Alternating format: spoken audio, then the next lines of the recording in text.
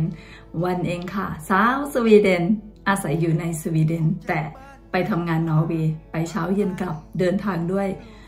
ระยะทาง 300 กิโลเมตร ไป 150 กลับ 150 ทุกวัน ตื่นตีสี่มาเป็นระยะเวลา 10 ปี ปีนี้เข้าสู่ปีที่ 11 แล้วนะคะ ที่วัน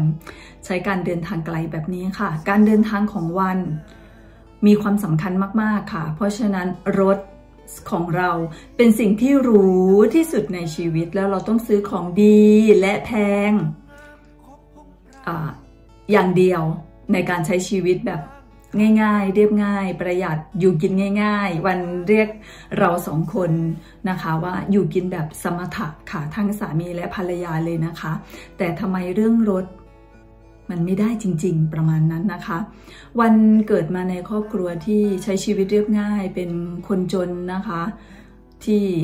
ตอนที่วันโตมากับพ่อกับแม่ วันไม่เคยมีรถยนต์ค่ะ แต่พอน้องๆนน้องชาย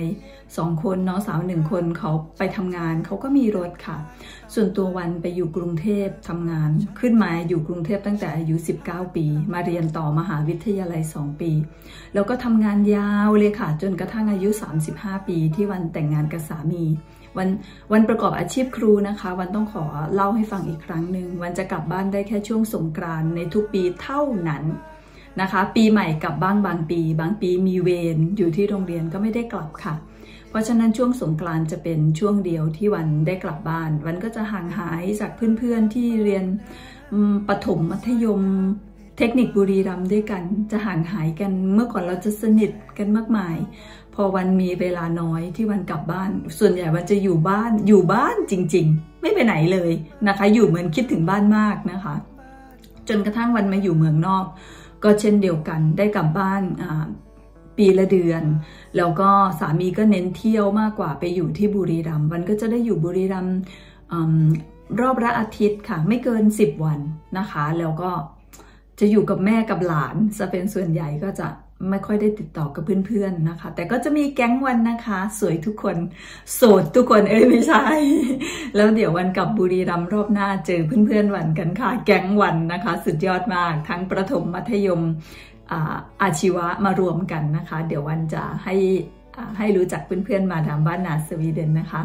พอวันมาอยู่ที่นอร์เวย์มาอยู่ที่สวีเดนค่ะ คือวันนะเป็นคนไม่ติดรู้ติดรวยอะไรแบบนั้นนะคะ เวลาวันซื้ออะไรวันชอบคำนวณเป็นเงินไทย อันนี้เป็นนิสัยของคนไทยหลายคน จริงๆนอร์เวย์สวีเดนใช้เงินครุนนะซึ่งเงินโครนสวีเดนกับเงินโครนนอร์เวย์ก็คนละอย่างกันนะคะ แล้วก็ตอนนี้เงินโครน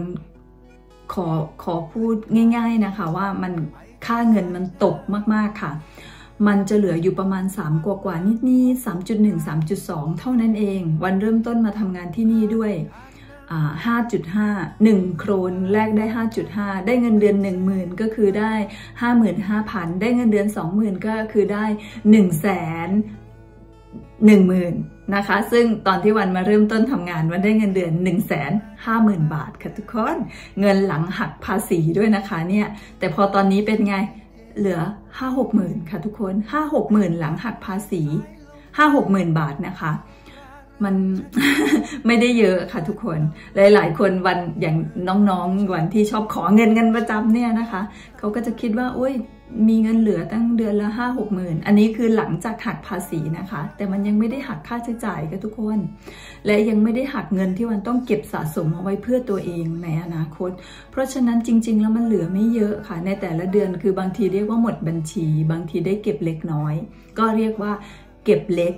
ผสมน้อยไปเรื่อยๆนะคะ ที่วันมีเงินเก็บ ทุกวันนี้วันต้องขอบอกว่าวันก็ต้องขอขอบคุณสามีวัน ที่เขา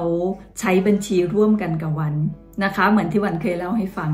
สามีเป็นคนสวีเดนเขาทำงานมาก่อนวันนะคะเขาจะมีเงินเดือนสูงกว่าวันประมาณหมื่นโครนถึงสองหมื่นโครนบางเดือน ก็คือเงินเดือนเกือบเท่าหนึ่งของวันน่ะเขาจะเอาเงินมารวมกันค่ะทุกคน แล้วในบัญชีเนี่ยมันจะแยกชื่อ นะคะ เรียกว่าผู้รับมรดกหรือผู้รับผลประโยชน์ 2 คนก็คือชื่อเขาเป็นคนแรกชื่อวันเป็นคนที่2นะคะ พอเงินเข้าไปในบัญชีนี้มันจะถูกหารออก 50-50 โดยอัตโนมัตินะคะเมื่อใช้บัญชีร่วมมันไม่มีอิสระเรื่องการใช้เงินสำหรับวันนะคะ คือวันจะใช้อะไรแบบไร้สาระไม่ได้เลยค่ะทุกคน เพราะการเบิกจ่ายทุกอย่างสามีจะรับรู้ทั้งหมด เพราะฉะนั้นการใช้เงินของวันนะวันเป็นคนใช้เงินอ่า ส่วนใหญ่ก็คือช่วยเหลือน้องๆ ครอบครัววันที่เมืองไทย เรียกว่าให้ไม่มีการละให้ไม่มีเทศกาลนะให้ให้ตลอดทุกครั้งที่มีการขอความช่วยเหลือนะคะะแบบนี้วันจะหมดตัวทุกคนวันก็เลยไม่ค่อยอพูดเรื่องการใช้เงินสำหรับครอบครัววันกับสามี ถ้าวันอยากใช้เงินสำหรับครอบครัว วันจริงจำเป็นต้องมีบัญชีลับ นะคะไม่ใช่ไม่ใช่เป็นความลับอะไรนะคะ สามีก็รู้ค่ะเขาเรียกว่าเงินที่วันทำงาน และสามีทำงานอยู่ในบัญชีร่วมมันคือเงินของเราอะค่ะ มันคือเงินครอบครัว ส่วนวันอะอยากดูแล อยากช่วยเหลือ อยากทำบุญ อยากอะไรที่เมืองไทย วันสามารถใช้ได้จากบัญชีนี้ แต่มันต้องไม่ไร้สาระ และคำว่าไร้สาระของสามีอะด้วยวัฒนธรรมมันต่างกันเขาคิดต่างกับเราเยอะมากค่ะ วันขี้เกียจอธิบาย วันก็เลย มาหาไรายได้ด้วยตัวเอง ด้วยการทำช่อง YouTube ซึ่งมันก็ได้เพียงพอที่วันจะช่วยเหลือทุกคนที่เมืองไทยเท่าที่วันช่วยได้นะคะ แต่มันไม่ถึงกับร่ำรวย แต่มันคืออิสระทางการใช้เงินของเรา หาเองใช้เองในบัญชีนั้นนะคะ เพราะฉะนั้นเงินเก็บของเราอะมันจะถูกตีเป็นค่าใช้จ่ายต่างๆ เยอะแยะค่ะ และเหมือนที่ทุกคนทราบคือรถวันเสียพอรถเสียนะ่ะอาการคือท่อน้ำรั่ว วันเป็นคนไม่มีความรู้เรื่องรถเรื่อง เครื่องยนต์นะคะ แต่วันคิดว่ามันน่าจะเป็นปัญหาเล็กๆไหม น่าจะซ่อมแล้วก็ใช้รถได้ เพราะรถวันใหม่มาก ตอนนี้นะคะวันพอจะได้ข้อมูลที่จริง ๆ แล้วนะคะ เมื่อก่อนเออคลิปสองสามคลิปที่วันพูดถึงเรื่องรถ คือวันน่ะไม่ได้วางแผนอะไรไว้ล่วงหน้าเลยค่ะ พอวันได้ยินสามีพูดมาวันก็จะรีบพูดรีบพูดแบบไม่ได้กันกรอง ข้อมูลผิดเยอะเลยทุกคน วันจะเล่าให้ฟังแบบถูกต้องนะคะ รถวันคันนี้ค่ะ ตอนนี้นะคะมีราคาขายอยู่ที่ประมาณ 3 0 0แสนถึง 3 5 0 0 0 โครน ทีนี้วันพูดลงไปในคลิปว่าเราใช้งาน 15,000 กิโล ไม่ใช่นะคะ คนสวีเดนเขาจะพูดถึงไมล์แต่เราอะชอบคิดถึงประเทศไทย เราเป็นคนไทยเนาะเราก็จะพูดถึงกิโลค่ะ ไม่ใช่นะคะเวลสามีวันบอกว่ารถเราใช้มา 15,000 แล้วแล้ววันก็หนึ่งหมื่นห้าพันกิโลเปล่าหนึ่งหมื่นห้าพันไมล์ก็จะเท่ากับหนึ่งแสน 50,000 กิโลที่เราใช้รถมา 5 ปีค่ะ แล้วทีเนี้ยพอรถมันใช้งานเยอะ มันจำเป็นจะต้องเข้าศูนย์ซ่อมบำเขาเรียกว่าตรวจสภาพรถค่ะ บ่อยขึ้นตอนนี้ก็คือตรวจปีละสองครั้ง ซึ่งสามีบอกว่าถ้าเราใช้รถคันเก่า เราก็จะต้องตรวจปีละสามครั้ง อะไรแบบนี้เพราะเรายังคงไปทำงาน และใช้รถเป็นหลักนะคะ ทีนี้ ช่างซ่อมนะคะเขาก็บอกว่าอะไหล่บางตัวคือมันใช้งานหนัก เรียกว่าใช้งานหนักมากนะคะ มันก็จะเริ่มเสื่อมสภาพ พอเปลี่ยนหม้อน้ำมันก็จะต้องเปลี่ยนอย่างอื่นต่อไปต่อไปต่อไปเรื่อยๆ ซึ่งทั้งค่าซ่อม ทั้งค่าตรวจสภาพรถ ทั้งค่าจีปาถะที่เป็นเกี่ยวกับบริการเรื่องรถแพงมากค่ะในประเทศสวีเดน พอกดเครื่องคิดเลขคูณๆไปเนี่ยนะคะทุกคนจะตอบคำเดียวค่ะว่า ซื้อรถใหม่เถอะนะคะ แล้วเราอะ ที่นี่มันไม่ค่อยสะดวกเหมือนเมืองไทยตรงที่เวลารถเสียบนถนนกลางทาง เราจะโทรเรียกอะไรหน่วยงานต่างๆ มาช่วยเราได้เยอะมาก แต่ที่สวีเดนนอร์เวย์ไม่ใช่ค่ะทุกคน เราอาจจะต้องรอสองสามชั่วโมง เราอาจจะต้องรอเป็นวัน แล้วอากาศหนาวค่ะ มันไม่ได้เหมือนเมืองไทยนะคะ เพราะฉะนั้นสิ่งที่ดีที่สุดปลอดภัยที่สุดก็คือ ซื้อรถใหม่ที่อะไหล่มันแบบพร้อมใช้งาน 5-6 ปีประมาณนั้นนะคะ เราก็เลยจำเป็นจะต้องซื้อรถใหม่ ทีนี้เมื่อสามีมีปัจจัยแบบนี้นะคะ เขาก็เลยตัดสินใจออเดอร์รถมือสองตามรูปและแคตตาล็อกที่ศูนย์ขายรถเขาให้เราเลือกค่ะ แล้วรถคันนี้มันด้านไปอยู่ไกลมากๆ แล้วเขาจะต้องใช้วิธีใช้เวลาในการตรวจสภาพอะไรแบบ ให้มันพร้อมขายร้อยเปอร์เซ็นต์นะคะ เขาก็นัดให้เราไปรับรถ อีก 5 วัน แล้วให้รถเรามาใช้ฟรีๆ คือรถคันนี้ ซึ่งเป็น Volvo XC90 ซึ่งมันเป็นโม model modernสไตล์ก็คือเป็นรถคล้ายๆ สปอร์ตค่ะ เป็นรถแบบหรูๆนะคะ แล้วก็รุ่นล่าสุดของมือสองที่เขามีการขาย แล้วเขาขายอยู่ในราคา 650,000โครน ทุกคนฟังนะคะ รถวันอยู่ที่ 350,000 โครน รถคันใหม่ที่วันเอามายืมขับเนี่ยนะคะ650,000 โครน เราจะต้องเพิ่มเงินอีกประมาณ 300,000 โครนค่ะ ถ้าเราจะเอารถคันนี้นะคะ หนักไหมวันมีเงินจำนวนนี้ค่ะทุกคนด้วยการที่เราวางแผนในชีวิตมาตลอดกับสามีนะคะ เราซื้อได้ไหม ซื้อได้สบายมากกระทบกับชีวิตเราไหม ไม่กระทบเพียงแต่ว่า วันต้องทำงานแบบ 80%เพิ่มขึ้นอีก 1 ปี ซึ่งวันโอเคมากทุกคน แล้วก็เราอยากได้ไหม สามีชอบเทคโนโลยีของมันมาก ๆ ค่ะ แล้วก็วันไม่อยากได้กับทุกคน วันอาจจะคิดถึงรถที่เราต้องเอาไปจอดในป่า แล้ววันวิ่งเข้าไปเก็บเห็ด บางวันใช้ระยะเวลาเป็นเป็นหลายชั่วโมงค่ะ ที่สวีเดนและนอร์เวย์จะมีกลุ่มคนอพยพ หรือเรียกว่ากลุ่มคนที่มีรายได้น้อยเยอะมาก แล้วเราจอดรถอยู่ด้านนอก คือระบบความปลอดภัยเขาดีมาก เพราะฉะนั้นที่จอดรถมันไม่มีรั้วไม่มีอะไรทุกคน คือมันจะเป็นที่โล่งๆ ใครเดินผ่านก็ได้ วันมีความกังวลค่ะ ว่ารถอะจะ จะเป็นอะไรไหมอะนี่คือความคิดมากของวัน แล้ววันก็เลยบอกสามีว่าไม่เอาอะเพราะแค่เราจอดรถตรงเนี้ยคือมันดูหรูมากค่ะทุกคน คนที่เขารู้จักรถน่ะเขาจะรู้ว่ารถเนี้ยราคาแพงมากๆเออเพื่อนบ้านในอพาร์ตเมนต์นะคะ ลงไปดูรถแล้วก็ไปคุยกับสามีวันเรื่องรถ แล้วก็ดูอุ้ยแบบเนี้ย คือวันรู้สึกไม่ดีค่ะวันรู้สึกว่าเราอะเหมือนเราเกินหน้าคนอื่นเขาอะค่ะ นี่คือความรู้สึกเรานะคะ วันนะคะ แล้วก็มันเกินตัวเรานะคะ รถแบบนี้มันเหมาะสำหรับนักธุรกิจขับไปหล่อๆไปประชุม แต่ภรรยาคุณน่ะขับเข้าป่านะคะ วันก็เลยคุยกับสามีแล้วสามีก็คิดค่ะ คิด ทบทวนเเรามีเวลา 5 วันเขาให้เราเอามาใช้ฟรีเลยนะคะ ในขณะที่เรารอรถเหมือนให้เราเหมือนเขาล่อซื้อทุกคนให้เราเอามาใช้เขาดูสไตล์พนักงานขายอะเขาคงดูสไตล์สามีวันออกแหละเขาเป็นคนชอบเทคโนโลยีเขาก็จะบอกวันว่าเธอแต่ฉันชอบนะ อะไรแบบนี้วันก็ให้เหตุผลลงไปว่า วันอยากได้รถที่มันดูธรรมดากับเรา แล้วก็มันพอดีกับเราแล้วก็ วัน support ความคิดเขา ถ้าสมมุติว่าเขาอยากได้คันนี้เขาเป็นคนขับ วันก็โอเค เรื่องเงินไม่ใช่ปัญหา วันบอกเขาว่าเรื่องเงินไม่ใช่ปัญหา แต่มันอยู่ที่ความรู้สึกของคนรอบข้างมากกว่า วันไม่อยากให้ใครมองว่าเรารวยเพราะเราไม่รวยทุกคนแล้วก็ไม่อยากให้ใครมองว่าเราหรูเพราะเราไม่หรูนะคะ วันอยากให้เขามองสไตล์ชีวิตเขาก็กลับไปคิดค่ะเขาก็ใช้รถคิดพิจารณาในขณะที่วันไปทำงาน แล้วเขาก็บอกว่า โอเคเธอ ฉันไม่เอาคันนี้เอาคันเดิมที่เราสั่งไว้ ส่วนวันนี้วันจะไปรับรถ ดูนะคะว่ารถที่วันสั่งไว้คืออะไร วันเลือกเดือดตัวเองเด้อส่วนรถคันนี้นะคะหรูมาก Volvo XC90 ส่วนรถของวันเป็น Volvo V60 คล้ายๆ รถเก่าที่วัน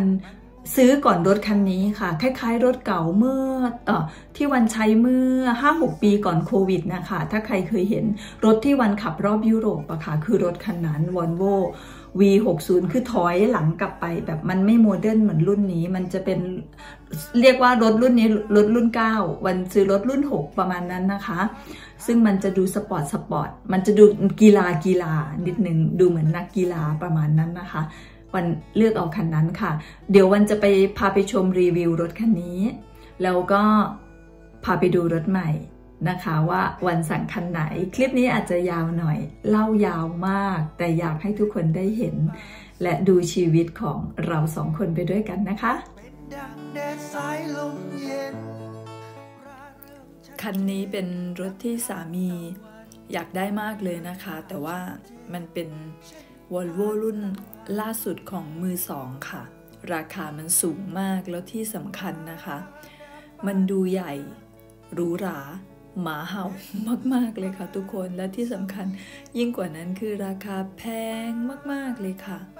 เราคุยกันหลังจากที่ได้ทดลองใช้ 5 วันเนี่ยนะคะ สามีชอบมากๆ แต่ มันต้องมีเหตุผลเรื่องเงินและ ประโยชน์ของการใช้งานของมันค่ะ ตอนนี้เราแค่ขับไปทำงานแล้วก็จอดไว้เฉยๆค่ะ ซึ่งคุณสามีนะคะลดงานลงก็คืองานก็จะน้อยลงด้วยค่ะ เพราะฉะนั้นนะคะเราเลยตัดสินใจว่า แค่ได้ลองขับก็โอเคแล้ว ไม่เอาคันนี้นะคะ แต่ดูค่ะ ลังเลมากป่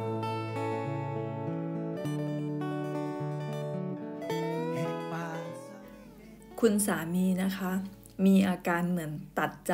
มากๆ วันก็บอกแกค่ะว่า ถ้าแกอยากได้มากก็คือเอาคันนี้นะคะ แต่ว่าที่จอดรถที่อพาร์ตเมนต์มันไม่ค่อยปลอดภัยค่ะทุกคนมันอยู่ข้างๆถนนเลยนะคะ แค่เราได้ลองใช้ เรารู้ว่ามันดูหรูหรามากค่ะ ใครๆเดินผ่านรถคันนี้ก็จะยืนดู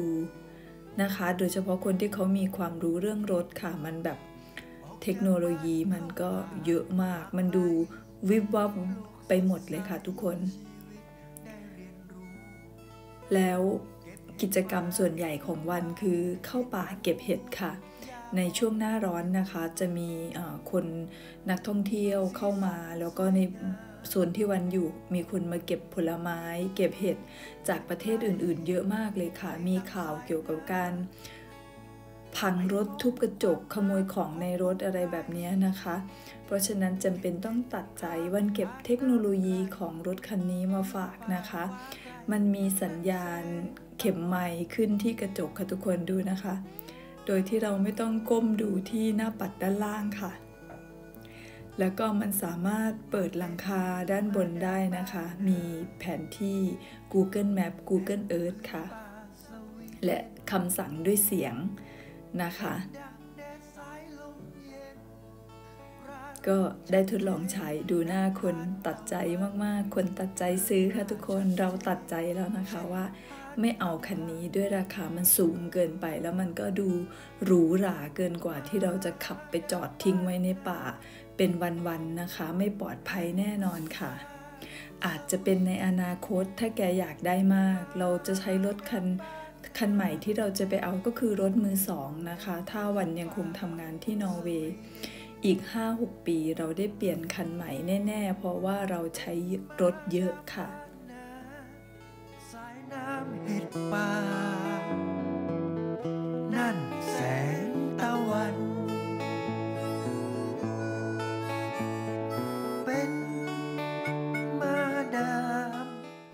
นี่คือที่จอดรถค่ะที่มันอยู่ด้านนอกติดถนนใหญ่แบบนี้เลยนะคะ แล้วรถก็จะจอดไว้แบบนี้ค่ะ ข้างทาง ตอนช่วงหน้าร้อนนะคะ ก็จะมีวัยรุ่นอายุประมาณ 18ถึง22 นะคะ จะเดินกันเต็มไปหมดเลยค่ะ ในเมืองนี้ก็มีผู้อพยพอยู่ด้วยนะคะ คือเราไม่ได้มีเงินมากมาย พอที่จะเอามาเสี่ยงทำอะไรแบบที่มันอืม ต้องเครียดอะค่ะทุกคนว่ารถเราจะเป็นอะไรหรือเปล่าอะไรแบบนี้เราก็เลยตกลงกันว่า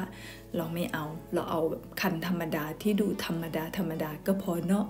วันก็ปลอบใจคุณสามีนะคะถ้าดูความชอบของแกนะคะ คนที่เขาชอบเทคโนโลยีเขาจะชอบรถคันนี้ค่ะ วันคิดอย่างนั้นนะคะ แล้วสามีวันเนี่ยเป็นคนที่ไฮเทคโนโลยีมากเลยค่ะ แต่เราต้องตัดใจนะคะ คุณสามีคะ